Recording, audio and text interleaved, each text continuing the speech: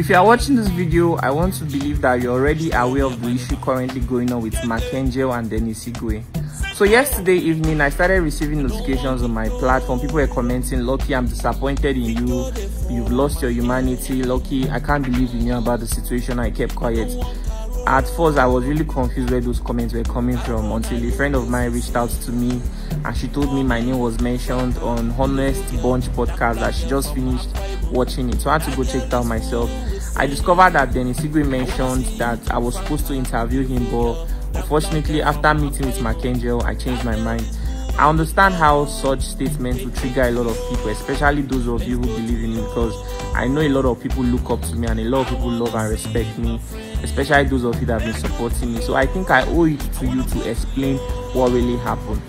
Apparently, it was not quite long ago that I knew about this issue, just about a few weeks ago, and I was the one that reached out to Dennis Igwe. I told him I saw the short video you made that you wanted to talk about what really happened between you and Mark Angel. Would you like to share the story on my platform? Dennis Igwe said yes.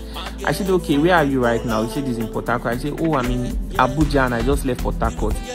How are we going to meet? Although I have a flight that already booked to Enugu State because there was this Nollywood actress that period that was um, in the hospital and the family were reaching out to me that they really need help they need to raise money for her hospital bills but unfortunately the day before my flight i think she passed away anyways i was still going to go to um I was still going to go to Enugu and I knew I was going to see Dennis Igwe. Surprisingly, coincidentally, I don't know how it happened though, but Mark Angel came to Abuja and um, then I reached out to him. I told him that I'm going to be interviewing Dennis Igwe you know that he has something to say about what really happened between the both of you. Would you like to share your own side of the story? Then Mark Angel explained to me that this is not the first time that Dennis have attempted to make an interview about what happened between the both of them. That at some point the, the case even went to the police station. He explained a lot of things to me anyway so I then reached out to Dennis again. I told him that oh I was with Marco and this is all Mark had to say. And Dennis was started saying that oh my goodness that I had already met Mark that he doesn't believe that um, I that um, that he's very sure that his story will not be told again. I say why is he making such statements? That I mean, if you come to somebody's platform to make you know a claim, do you understand me? Um, in as much as people love to hear this story, this is somebody you're talking about somebody else's life. It is important that somehow they are aware of what you want to say. Nobody is saying you cannot share your story but that's what they call defam defamation or something like that. I told him that bro i am still interested to interview you but i've listened to both parties. Is it possible that we see how we can have a meeting together. I mean the both of you. Instead of you telling me your own side of the story mackenzie telling me his own side of the story. As at this point i'd already i'd already flown to um, i don't know if my english is correct to enugu. I had invited all the people i was going to um, tell their story emmanuel bay and other people. I'd already even asked my pa i flew down with my pa to book a hotel reservation for dennis igwe Dennis said he didn't have transport. I sent him money. So he was even on his way and he was even very happy. Then I called Mark Angel. I told him that um, is it possible for him to be present because I would like him to be part of this conversation. He said he couldn't get any flights to Enugu, that he's on his way to Port Harcourt. That um, then I told him that please let us see how we can have a meeting about this instead of just rushing to social media to talk about it. He said he wasn't interested. I should go to, I should continue with whatever it is I want to do with Dennis. I told him that it is, and then I called Dennis. I said, Dennis, this is what Mark is saying. You within yourself, you have interest to settle with Mark? Let's see if this issue can be handled behind the scene. Dennis told me he doesn't mind. He's willing to settle. I called Mark. It took me three hours on the phone to convince Mark.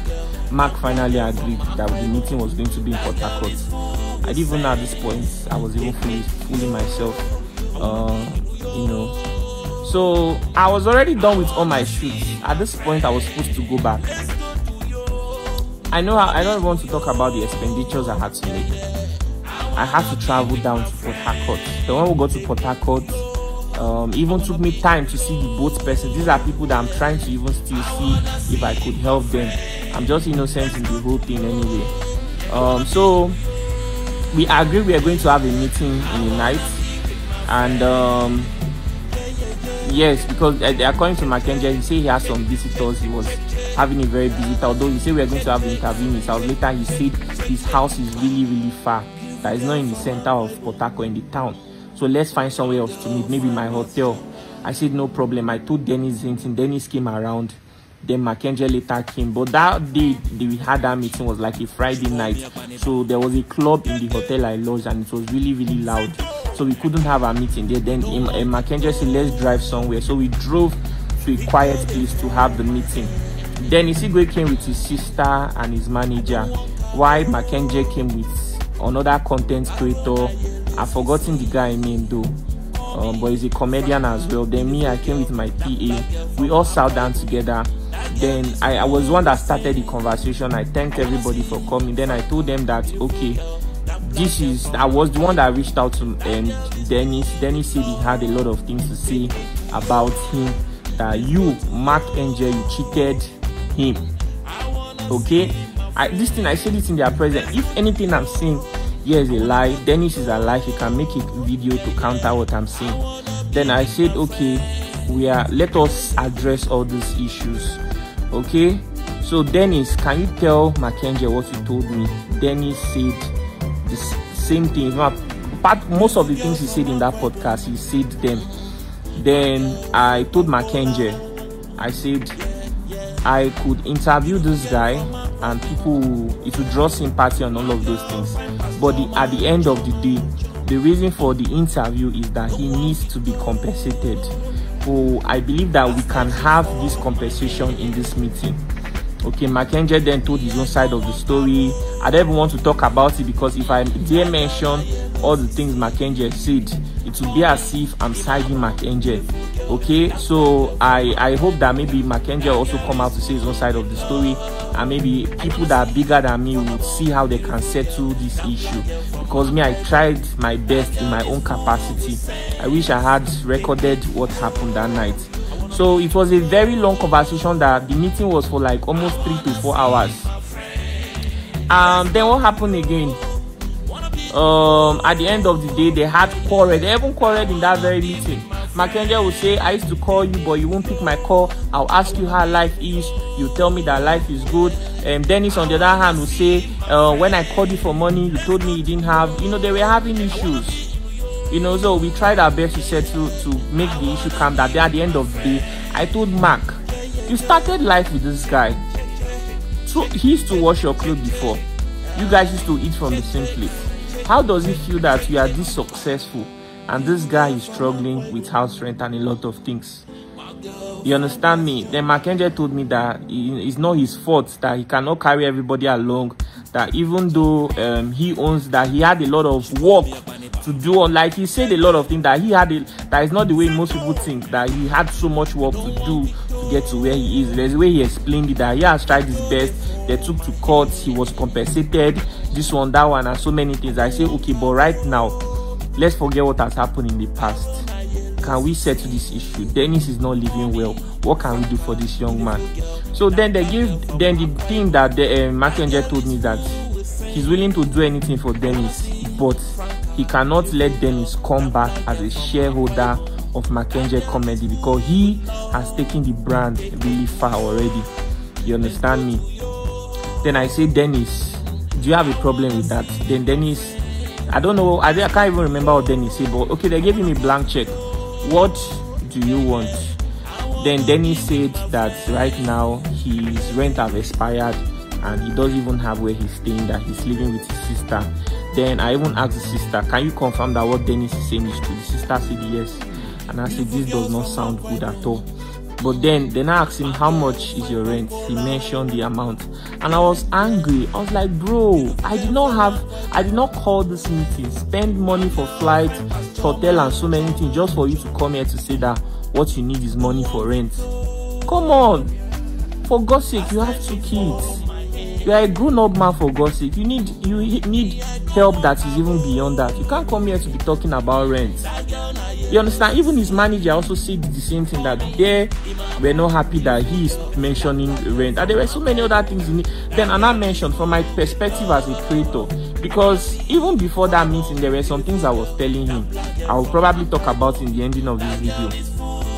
This guy, you see, for you to survive as a creator right now, you need to invest in making sure that there's quality in what you are doing. And before now, I've already even told him that apart from making an interview with you, I personally want to see you succeed. If Port Harcourt is not favorable to you, bro, you can come to Abuja and I can support you to have a life started here. I have equipment, you could use mine you understand me? Work on your script, man. For you, for anybody to pay attention to you, you have to be valuable. I told him, even if I do an interview for you, people will feel for you. Probably your views will go up for maybe one week. But after then, if what you are creating is not valuable enough, nobody, I'm telling you, nobody on this earth will carry your matter on their head. People will feel pity for you, but genuinely, I really want to see you succeed. So let's see how we can achieve something reasonable, okay? Um, then um, I mentioned that I mentioned to Mark, this guy needs equipment for his stuff. I don't know a lot of things, but from my perspective, he needs equipment for his filming. I was just saying it for my own um, thoughts. Maybe somebody else would have said something else. Eh? I didn't want to mention that maybe he needs also amount of money. I just say he needs quality equipment. Then Mark said he has given him equipment. The equipment he gave to Dennis, blah blah blah. I don't want to say so many things because if I say it, will look as if maybe I'm side. I'm not siding. I'm just seeing the truth of what really happened. I wish Nedu can still convince. Um, Mackenzie to come back to that podcast. Let the both of them stay there and have this conversation because even in all of this, my happiness is to see Denny succeeding. That is my happiness. So um i told him bro we need to support this guy with some equipment we need to help him even then I, I i you know by the end of the day i don't even know how the matter went of them started arguing at some point i i looked like a fool there and i told them that in fact i'm done talking then they ended the conversation with Mark saying that he was going to assist him with his rent and for the equipment. He was going to assist him, but not now. That things are difficult at the moment. That he probably assist him later. And then we did prayers and we left. And then um, Dennis messaged me and said, Thank you very much. And that was it. Dennis never told me if Mark Angel ever sent him any money or anything like that. And me, I tried to get a flight in Port Harcourt. There was no flight for like one week. I had to travel down to Uyo to fly back to Abuja. So it's so painful that in all my efforts, what you know, the way people are seeing it now is that I did all this because I'm trying to get favor from my angel, and it's really, really painful because God sees my intention. So I would also, I think I also remember calling Dennis to ask him, bro, how is life? How you doing? What are you working on? how's things been? Do you understand me? I could extend. I have about. I have staffs. You know, I could extend some of the services that they offer to me to you as well. We could make some videos together. I could show my face just to help you increase your views. Why is your page not monetized?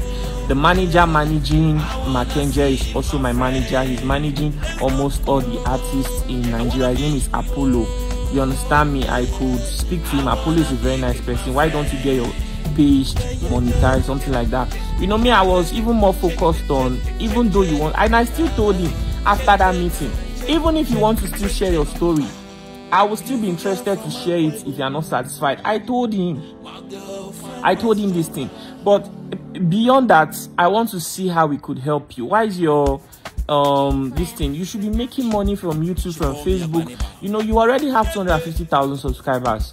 What can we do to get that views coming again? You so that you bounce back. Maybe you need to change your teammates. Maybe you need to recruit new actors and actresses people that will be able to fit into the new vision. Maybe you need new script. You know we talked about all these things. So it's quite unfortunate that um in that podcast he just mentioned that after I met Mark Angel, I changed my mind. So um, I want to also apologize because from my perspective, I was just trying to be human. There are many times that somebody will come to me with stories. Like just two weeks ago, there was this girl who traveled to Libya. She was 20 years old and um, she went into prostitution and then she came back with HIV and came back pregnant. I was supposed to interview her and um, But then I asked her, is your family aware of the situation? She said no. I told her, I said, even if you cover your face and change your voice, your family recognize you and this is not the best way your family should be hearing this news. I told her I wouldn't tell her story anymore. Those are people that I told directly that I'm not telling your story and I gave them good reason. There's another one that came one time and said her dad molested her and um, raped her, you know, and so many things. I saw how emotional she was and I told her that I will not film you until you go for therapy. Do you understand me? I could assist you with it. I didn't want to look like I'm taking advantage of her emotion. There's another story too. Somebody brought a mother abandoned her children for Europe, and then the sister, one of her children, the, the, the girl, the elderly sister, traveled to whether Bayelsa or Lagos. I don't know that it's prostitution she went there to do, and the young little boy was just there all alone. I said, okay, if I film those people, this guy's story, people will feel pity and everything. But what it boils down to is that he needs help. I think I can help this guy. I told them, put them in school. Let's look for one person in Port that can accommodate this guy. I'll be sending 60,000 naira every month for his upkeep. And that is it. We never had to film. I can I can go on and on to tell you stories that have come to me. I'm telling you, even governors, some of their family members reach out to me and they want to say this, Mercy Johnson. I, I like if I if I begin to call names of people that family members have reached out that they wanted to do this. I think my mistake now is that I need to start telling every story that comes my way. Because if I if I try to say okay, let me put like I don't know, even no matter I try to explain myself, there are people who will never see my point of view. So I'm sorry that I did not uh, from the way I approached it, I thought it was the best way. Even Dennis himself did not see what I tried to do for him. And if I, I calculated the expenses I made specifically for that trip alone, not even calculating Enugu's own, just the trip to Port Harcourt and everything I spent was almost about a million naira. So it's painful that at the end of the day, people said I only did that because I was trying to protect my interest with Mark Angel. For God's sake, even if Mark Angel is somebody to be respected, he's a comedian. I'm not a comedian. Am I? Do you know the kinds of people I talk to every day? You won't even believe the numbers of celebrities that reach out to me. I'm even talking of international creators. Uh, well, some of you haven't seen me in real life, so I really don't know how you judge my standard or anything. But I am sorry if in all this explanation, some of you feel that um, what I did was wrong. I apologize. It is the lessons we learn that will make us to become better people and I'll make the job that I do to become better. I've learned my lesson and I know what to, do henceforth whenever somebody reaches out to me for story because most times even the people you are trying to help don't even know that you are trying to help them. Maybe I should have just filmed him and that was it. Probably, you know, I don't really know. So I am really sorry. I, I am caught up in the middle of all this. I tried my best to see how I could settle it this is not the first time people are reaching out to me with stories and i'll see if i can settle it without it coming to the media. I always tell people something. Some people think i don't help people with money. You have no idea how much i spend. The reason i'm not so successful is because i'm trying my best to be there for a lot of people. And the way it is right now it is not favoring me. You have absolutely no idea. If we are able to resolve an issue what is the point of bringing it to social media so I think this is my mistake. I apologize. If you go back to how I started my journey, I made a lot of mistakes. And the people who love me always tell me, Lucky, don't do it this way, do it this way. And I've listened to you and I've been able to grow, evolve, and become, you know, something, be a force for good. So I'll always continue to take your feedback seriously and I'll be able to, I'll, I'll continue to learn from it. Okay? I appreciate all of you and I apologize if my judgment was wrong. I literally, I remember telling Dennis, if you still want to tell your story, I will tell it. But I'm just trying to see how you, on the other hand, he never, you, see, the whole, um, in fact, I'm just, I'm, I'm so sorry. The negativity this thing is drawing, I'm seeing all the comments. I don't know, I think this happens to people that are chosen, you know, the chosen ones. They're always the ones that are always misunderstood no matter the decision they make nobody in this world except god you know people judge you by your action not by your intention i really wish you guys i mean i don't know and even after that meeting we were supposed to post those pictures, but Mark Angel said we shouldn't post it, and I didn't know why he said we shouldn't post it. He was like, we should wait until um, Dennis have gotten those equipment and everything, you know, blah blah blah. So that was it. So we never, I me, I never knew that maybe he was going to Honest Bunch podcast or he was not even satisfied. I seriously did not know. In all of this, I was the one who I don't know. I think I've learned my lessons and I'm really sorry. So this video is not for everybody. It is only for people who truly love me, those that have been supporting me, and those that intention uh, that intentionally want to hear what really happened. So I'm so sorry that I've been misunderstood, misrepresented, and I just fooled myself.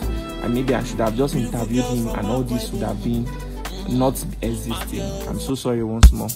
J Clef Production. She call me a bunny bomb. Kete.